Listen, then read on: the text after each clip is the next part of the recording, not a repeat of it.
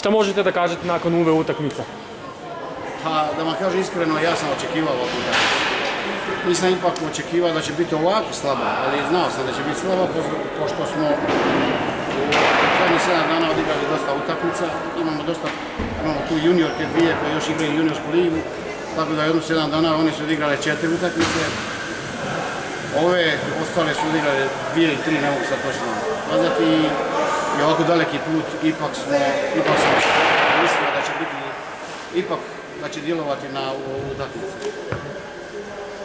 Svaka čast, e, cijeli je odigrala kvalitetno, ali je odigrala i kvalitetno normalno koliko smo mi slabo odigrali.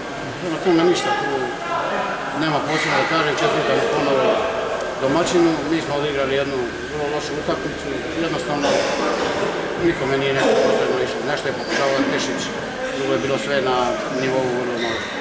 Kakva je inače situacija u klubu?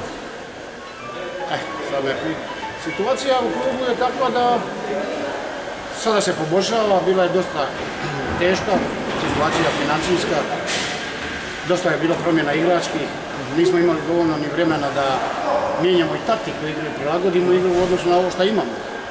Tako da sada idemo na bolje. Imate ambicije u kupu i u prvenstvu. Pa slušajte, u kupu imamo sigurno ambicije, igramo protiv Osijeka, ako pobjedimo Osijeka u Osijeku idemo u Final Four.